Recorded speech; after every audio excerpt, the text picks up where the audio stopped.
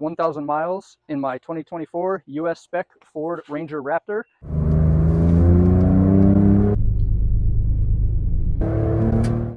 This is the shelter green. In case any of you are going to ask, yes, I paid a dealer markup. I paid 2000 more than MSRP, but I've been waiting for this truck to come to the United States for three or four years now. Been watching all the guys in Australia, South Africa, over in Asia, everywhere in the world that's gotten them except for us, and just been super jealous. So when a dealer uh, 90 miles north of me put a post on Facebook Marketplace of a picture of this truck and it didn't have someone who had ordered it. I was there the next morning and they hooked me up. Um, so I'm thrilled to have it.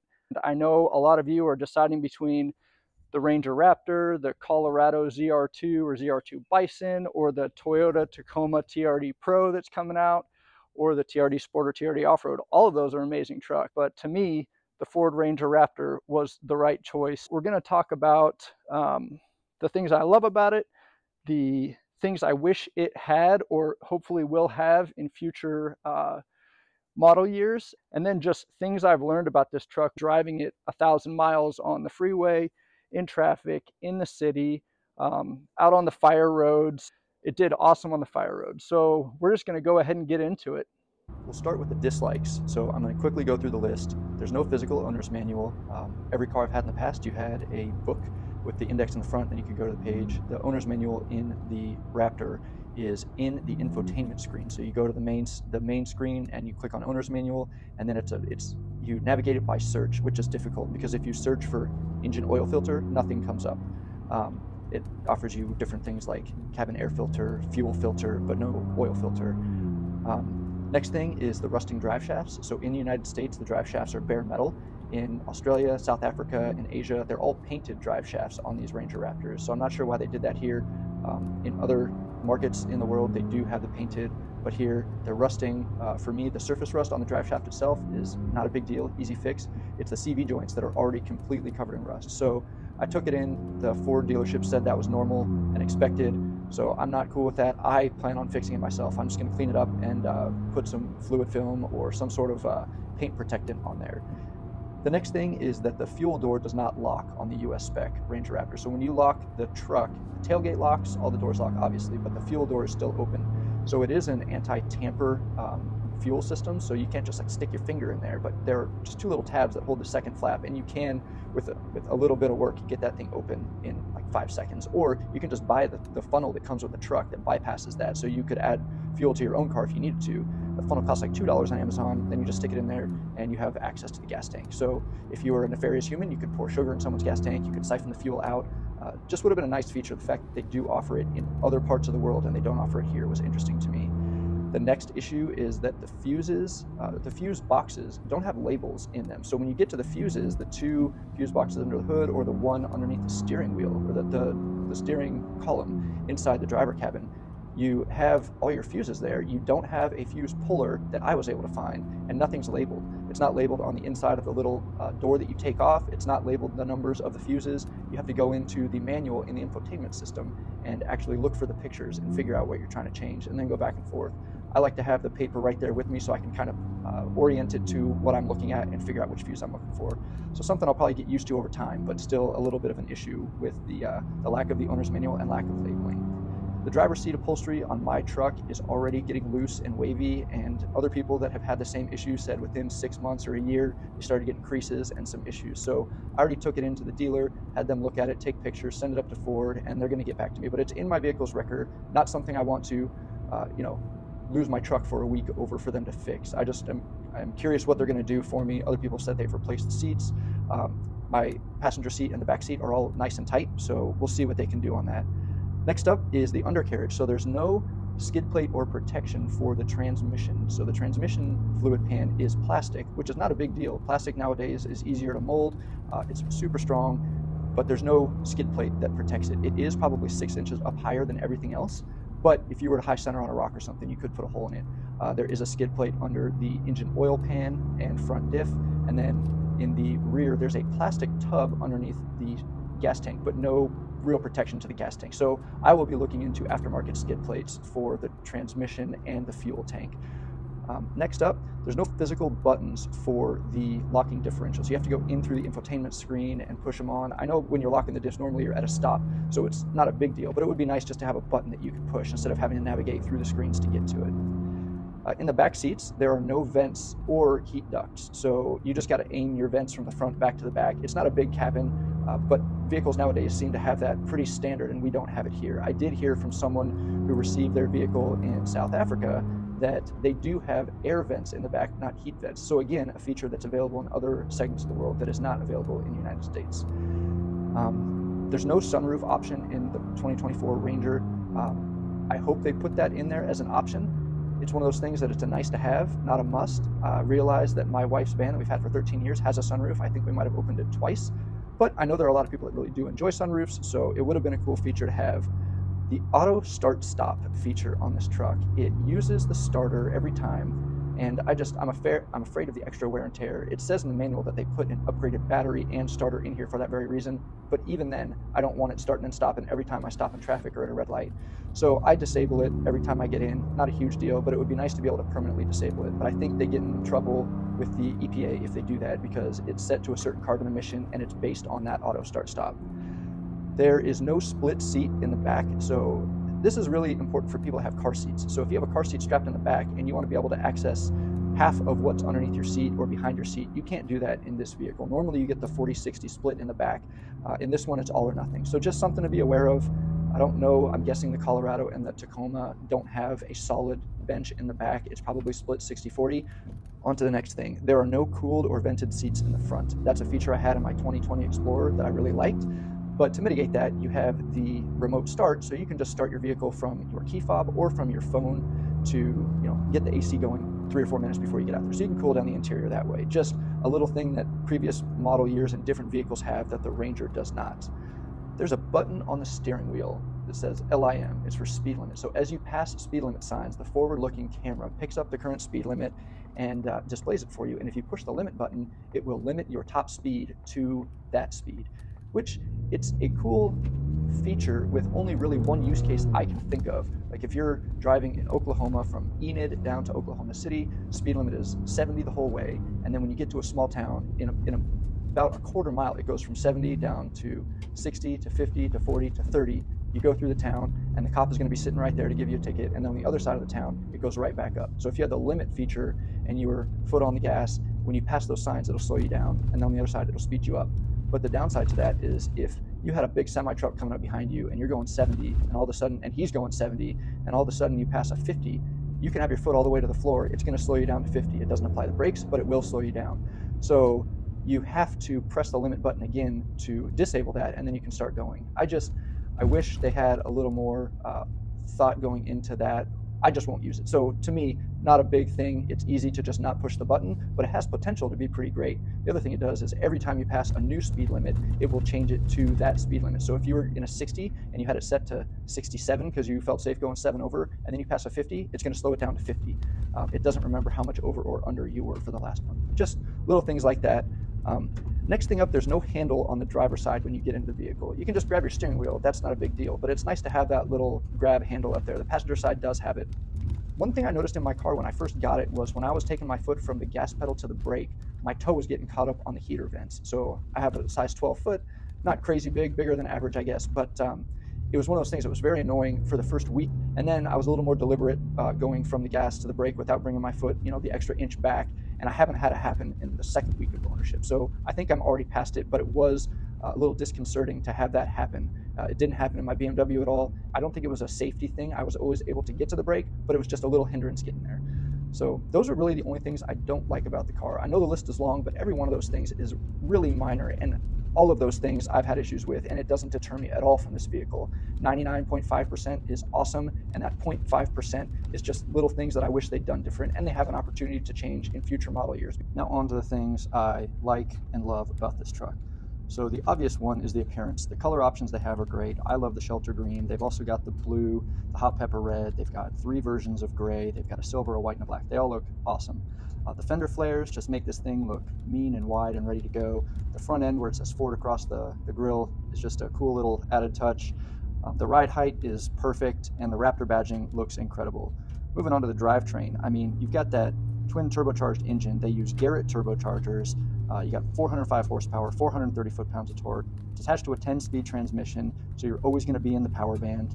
Um, your transfer case has four different modes, so you've got the two high, the four auto, the four high, and the uh, four low, and the locking front and rear differentials.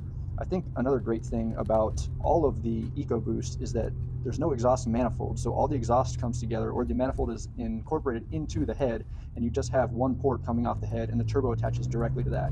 Saves a little space. You can't put headers on it, but it's engineered, so it, it works really well, uh, and they're able to fit a little more in there, keep it more compact.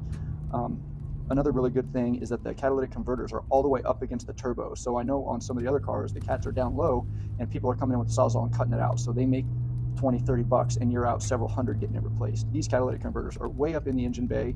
They're covered by different braces and things in the undercarriage, so it's really difficult to, get to them. I did a video on it. You're welcome to go back and check it out, uh, see, see what I did there. Um, moving on, the wheels and tires look really great. I love these BF Goodrich KO3s. They came out with that for this truck specifically. So they're just, even the little things, like eh, in between every other little knobby on the sidewall, it has a little KO3 in there. And then your spare tire is a full size BF Goodrich KO3 as well. Not on a matching wheel, it's on a steel wheel. I intend to go to a tire shop when I get my tires rotated and have that rotated onto one of the actual rims so I can keep it in the rotation so it doesn't just sit under the truck for five, ten years and just rot.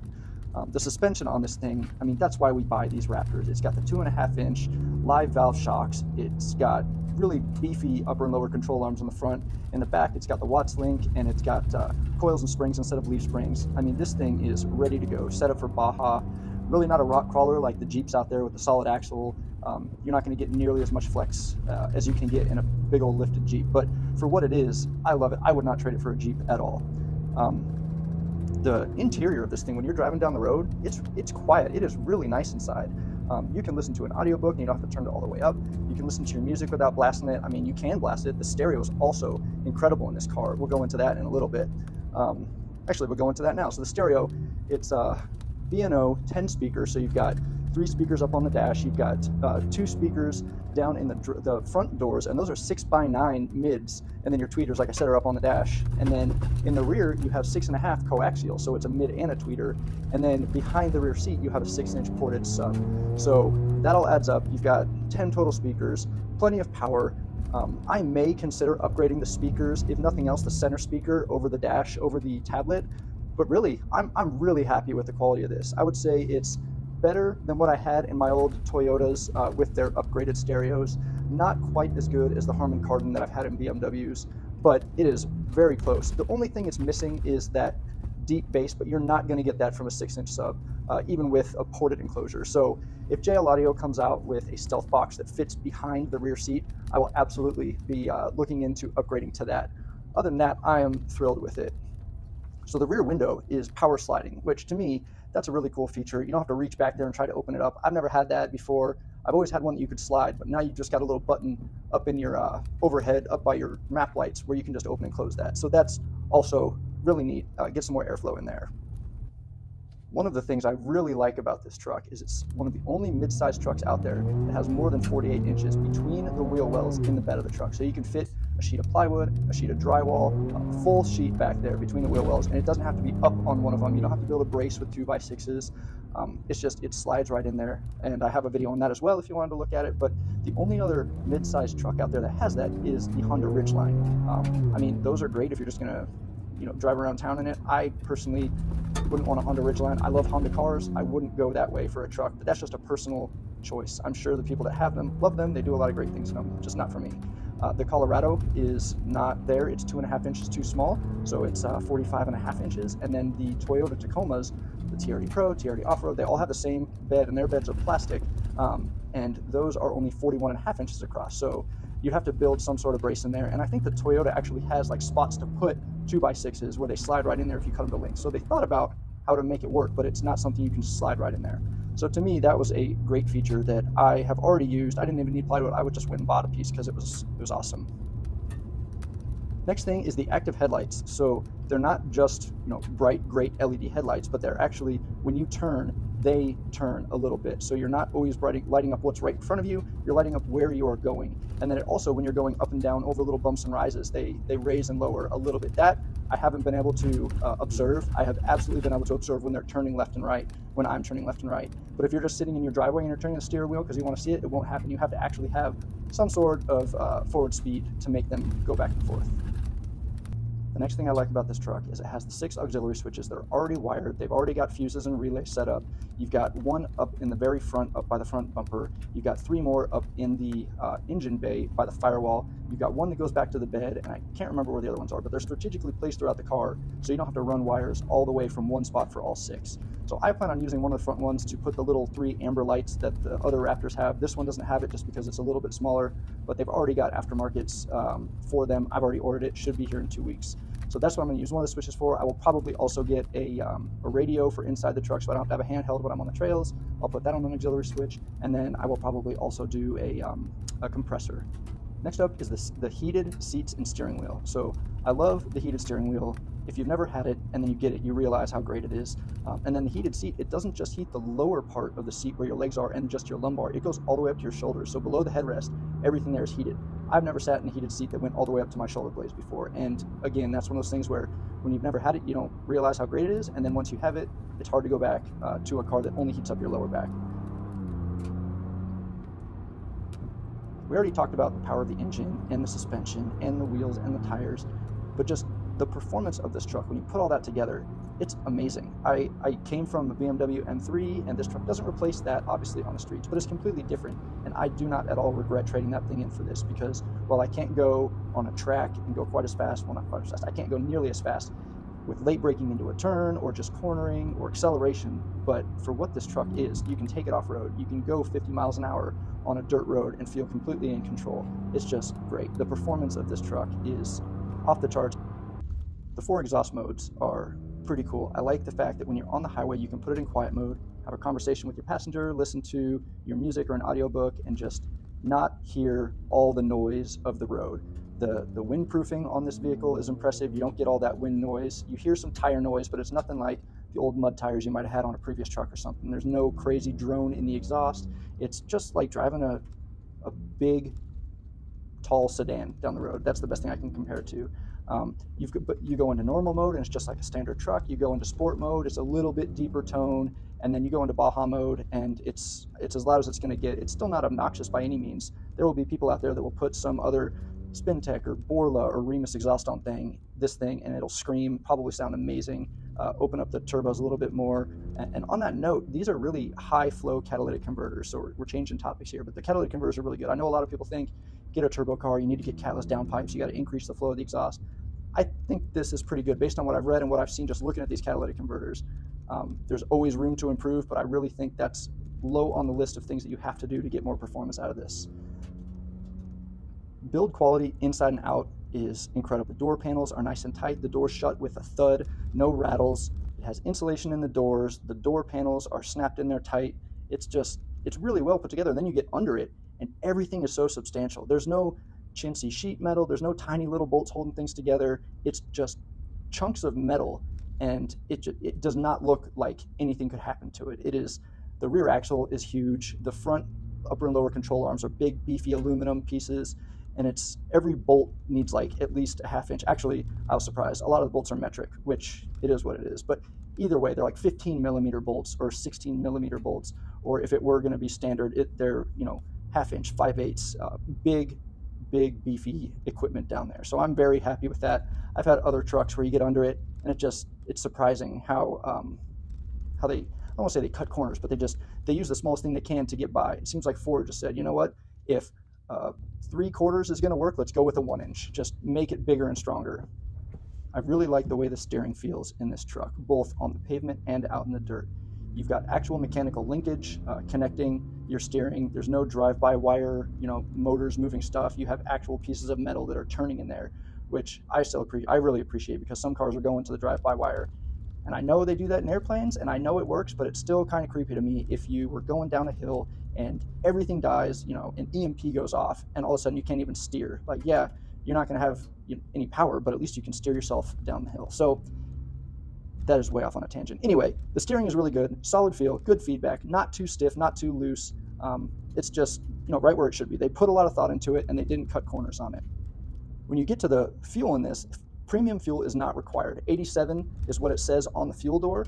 I put 93 in it only because when I had my Focus ST, it took 87, but they told me in the EcoBoost motor, if you put higher octane and the, the car will advance timing, or in this case, the truck will advance timing to its limit so that you get a little more power out of it with the higher octane. It's not going to detonate early. Now, if you were running 93 and you've you know up that tune a little bit, when you go to 87, it will realize it's, it's pre-detonating and it'll retard the timing back. You won't hurt, hurt anything. It'll it'll work just fine. So you have the option of the different fuels, and the way I understand it is you will get a little bit more performance out of the 93 than you do out of the 87 they put a lot of attention to detail into the little things in this car. For example, you open the door, if you look at your instrument panel, there's the front grille of a Ranger Raptor with a Ford across it, and then it goes into a truck kind of moving around uh, just on, a, on an axis, pivoting around. And then it goes into when you actually push the start button and start the truck, it's a top down view of a truck, and the Ford logo drops in there, and some dust comes up, and then it goes into the gauges, go into red line, back down, and then your car's on ready to go. Instead, I mean, to me, that's a pretty cool little thing. I don't get tired of it. Every time I start it up, it puts a smile on my face. So I like that. And then the next thing, all the different modes that you have. So if you're in trailer mode or Baja mode or sport mode or normal mode, everyone has a different little truck that they show on there. Normal mode is just a blue Raptor. Um, if you go into sport mode, you get a black Raptor with an R in the bed, and just everything has a different little thing there. So it's not just one generic picture. They they do little things here and there to just you know let you know, hey, we were thinking about this when we when we put this feature in.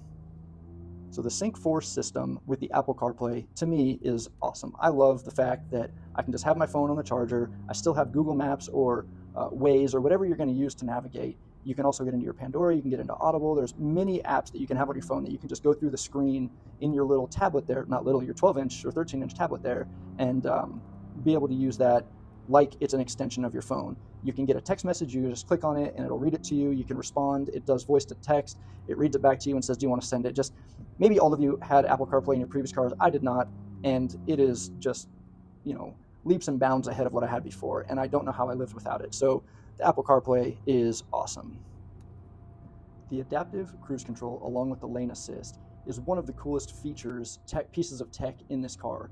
It's going to, you know, when you're driving down the road going 65 in traffic on the freeway and you press the adaptive cruise control button, take your foot off the gas and it's going to slow down for you, it's going to speed up for you. It'll come to a complete stop on the freeway, and when traffic goes, it'll start going again. The lane assist will keep you in your lane. It goes back and forth. It kind of plays uh, ping pong, or what I guess pong is the game where it goes back and forth. But it'll it'll go back and forth between lane lines a little bit. It likes to hug the one on the right. I'm not super comfortable with that, but it won't cross over.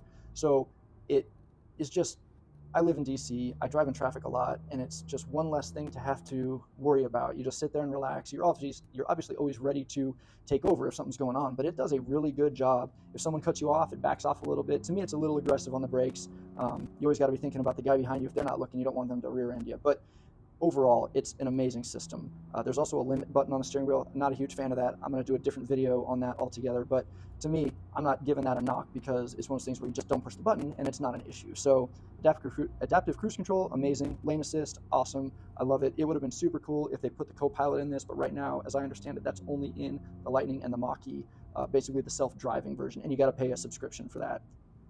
The R button on the steering wheel, the little Raptor button, is is super convenient because if you set your car to uh, if you set your Raptor mode to sport mode with Baja exhaust, with your shocks set to normal, what, all of your custom configurations, and the biggest one being the auto start stop off, when you get in your car and start it up and you press the, the little R button on your steering wheel twice, it'll go into that setting and disable the auto start stop.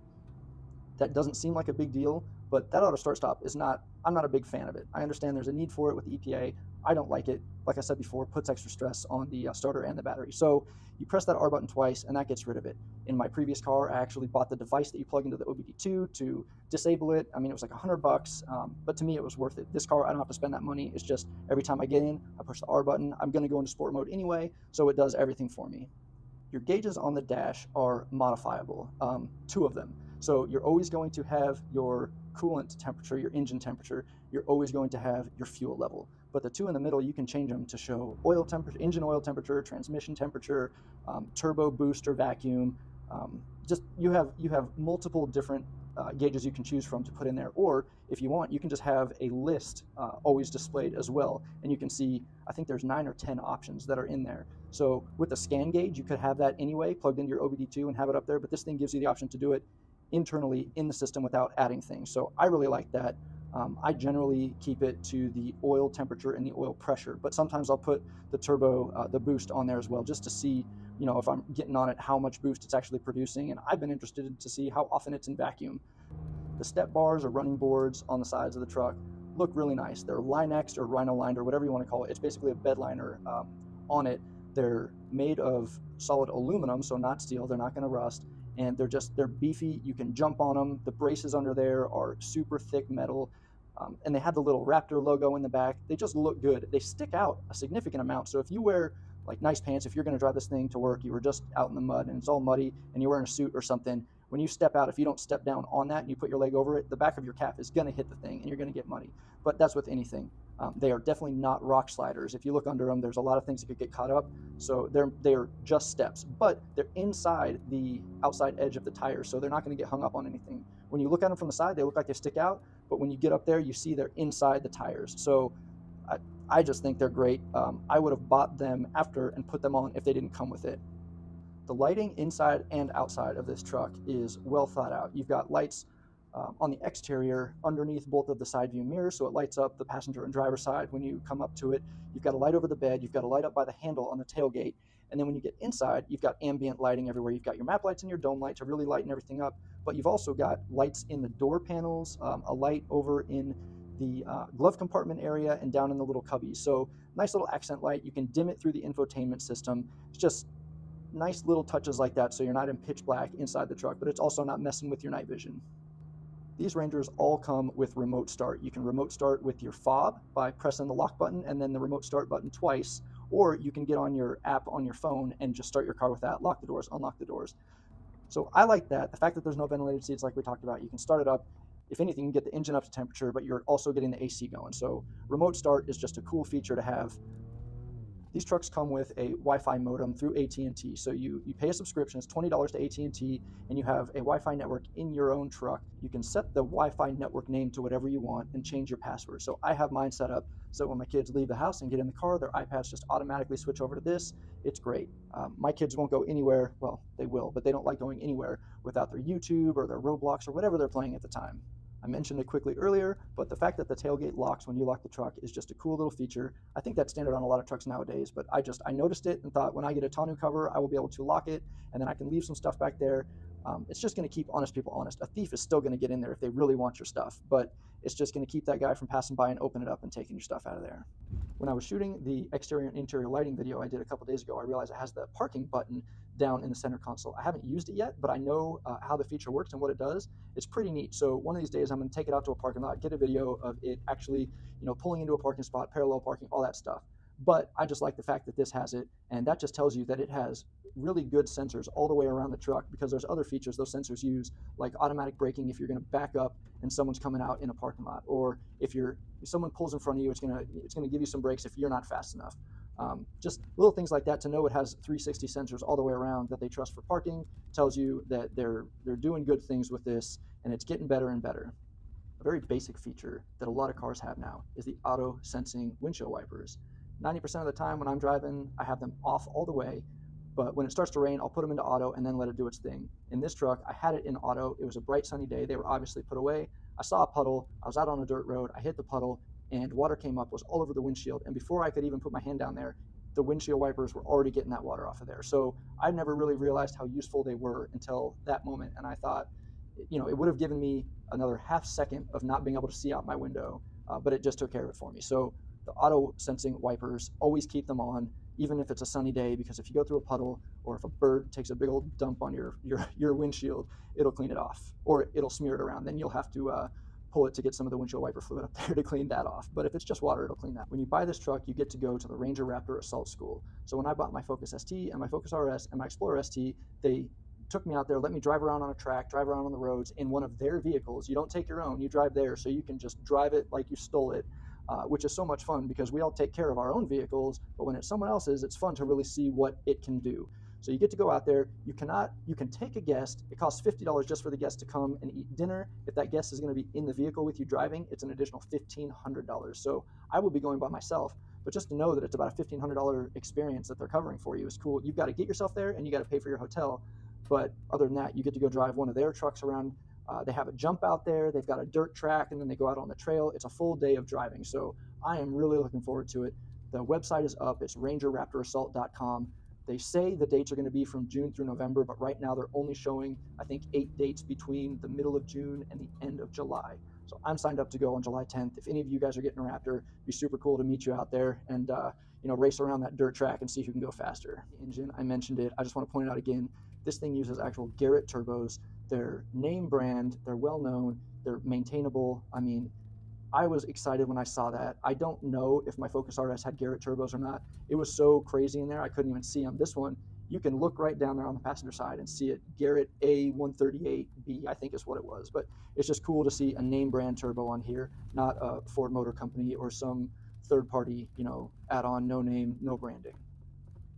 The final thing I'll mention, and it's a little thing, the vents and the cowls on the front quarter panels and the hood are functional. So they're not just there for looks, they're actually venting air from somewhere under the hood. Now I know like on the Toyota Tacoma TRD Sport, it has a sweet looking hood with a hood scoop, but that thing is just a piece of solid plastic. So no air is going in there. It is strictly for looks. Uh, I know a lot of other vehicles, like the vents on the side of a Mustang, for example, those are also just for looks. Maybe in the higher end ones, they actually go in and vent to the brakes, but generally they're just there for looks. Um, so in this one, they're actually functional. And that's it. I appreciate you guys sticking around seeing this. My wife uh, was in Rome when I bought this truck. She wasn't thrilled when she got home. She said, I'm not allowed to buy any other things for it. So I'm actually trying to get to a thousand subscribers so I can start monetizing this and get a couple dollars a month so I can save up to get a tonneau cover, a spray-in bed liner, an overlanding thing. I mean, it's going to take a long time to get that. But if you subscribe, you'd be helping me out. I appreciate it. I love making these videos. I have a real job, so this is not something that I need to do. I just really enjoy it. Um, and I love reading all the comments you guys put on there. I try to get back to everybody. So if this was helpful, I mean, leave a like, subscribe. Now that I've got this video out, I want to start going in and doing one or two minute videos about each of the things we talked about or that I talked about here. So I've done a lot of the stuff in my previous videos, but I was so excited about all those, I would put eight or 10 things into one 15 minute video and just hope you guys watched it and stayed through all of it or got something out of it. What I want to do is a two minute video about the auxiliary switches, how they're wired, where the fuses are, where where the, the wire comes out. And then I'll go into the different exhaust modes. I'll do a two minute video on that. And then I can go into the steering for two minutes and actually show you the mechanical linkage. And uh, I don't really know how to show you how much tension there is on it, but go into the Apple CarPlay for one, or the R button, how you set it, how you use it, and it'll be uh, labeled on there. So over the next couple weeks, I plan on doing one or two of those a day and just having them up there. Um, I'm hoping that'll help. If you think that's a terrible idea, leave a comment and I will switch it up and do something different. But Anyway, I apologize for this being a super long video, but it's all super exciting stuff to me, and I really hope that it's useful because I know when I'm going to buy a car, I want to see everybody. I don't want to just well, I love watching Top Gear. I love watching you know all the different really good channels that do a good review, but I also enjoy knowing the people like you and I that bought this thing, what we think about it. What are the little things that we're seeing issues with that the the big companies aren't going to talk about? So that's it. I hope you have a great day. It's over.